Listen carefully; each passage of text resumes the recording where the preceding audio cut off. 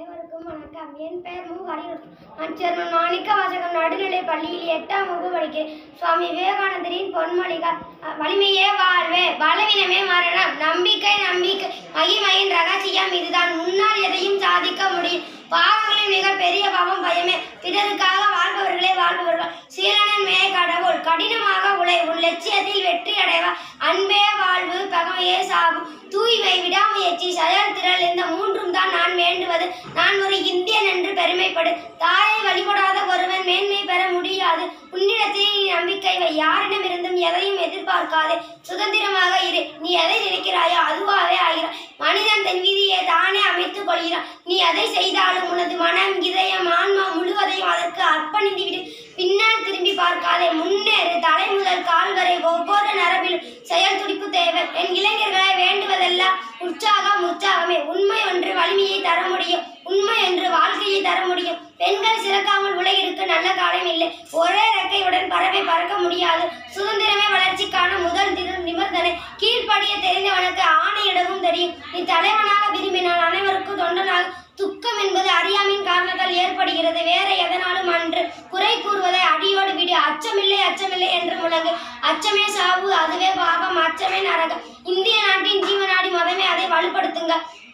தீமைக்காக தீமையாக பதிலாக தீமைக்கு பதிலாக நன்மை செய்தால் என்ற கருத்து உருவாகியது பாரதத்தில் தான் நான் எதையும் சாதிக்க வல்லவன் என்று சொல்லி உறுதியுடன் இருந்தால் பாம்பின் விஷம் கூட சக்தியற்றது ஆகிவிடும். அடிமைகளின் குணமாகிய முறாமையை முதலில் அழித்துவிடு. அன்பின் மூலம் செய்யப்படும் ஒவ்வொரு செயலும் ஆனந்தத்தை கொண்டு தந்தை உங்களால் யாருக்கும் உதவி செய்ய முடியாது. மாறாக சேவைதான் செய்ய முடியும் உடற்பயிற்சி செய் உடலும் செல்ல வேண்டும். நான் எந்த குறைபாட்டையும் தாங்க முடி தாங்க முடி தாங்க முடிக்கிறேன் ஆனால் கோழைத்தனத்தை மட்டும் தாங்க முடியாது. திடமான நம்பிக்கைகளை பெரும் செயல்களுக்கு வழிவகுக்கும் வரலாற்றில் எந்த ஆணோ பெண்ணோ சிறப்புடன் விளங்கினார்கள் என்ற ம- மற்ற எல்லாவற்றையும் விட முக்கிய காரணம் அவர்களின் தன்னம்பிக்கை தான் இளைய தலைமுறையிடமே நவீன தலைமுறை எனது நம்பிக்கை இருக்கிறது. பொறாமையும் ஆணவத்தையும் விட்டு பிற நலத்திற்காக பணி செய்ய கற்றுக்கோ எல்லா நாடுகளிலும் ஏழைகளை பெரும் காரியங்களை செய்கிறார்கள். இதை கவனத்தில் வை. ஆன்மீக லட்சியத்தை புறக்கணித்து விட்டு மேலை நாட்டு உலகில் நாட்டு உலகில் நாகரிகத்தின் பின்னா செல்வாயானால் அதன் விளைவாக மூன்று தலைமுறையில் உனது இனம் அழிந்து போய்விடும். வெறும் பித்தலாட்டத்தின் மூலம் எந்த பெரிய செயலையும் சாதிக்க முடியாது. மனிதன் அல்லவா பணத்தை உருவாக்கின பணம் மனிதனை உருவாக்கியது என்று எங்கே கேள்விப்பட்ட எதுவெல்லாம் பற்று இரு இருமை போன்ற தசையும் எக்கை கொன்ற இரும்புவை போன்ற தசையும் எக்கை கொன்ற ஒத்த நரம்புகளையுமே நான் வேண்டுவது. நான் நாம் எல்லோருக்கும் கடுமையாக உழைப்போம்.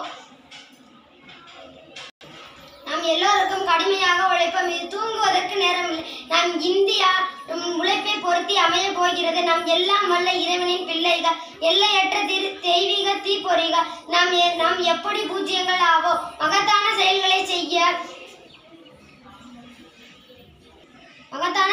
செய்ய இறைவனால் நாம் தேர்ந்தெடுக்கப்பட்டோம் என்பதை நண்பர் நன்றி வணக்கம்.